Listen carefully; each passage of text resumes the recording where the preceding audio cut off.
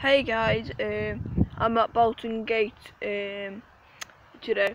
So I just caught two little mirrors, but I forgot to uh, rec uh, record them. But I just caught a uh, crucian, so there it is. And my fishing channel name is uh, Fishing Videos by Kaine and Jack. But don't forget to uh, like and subscribe. There you go.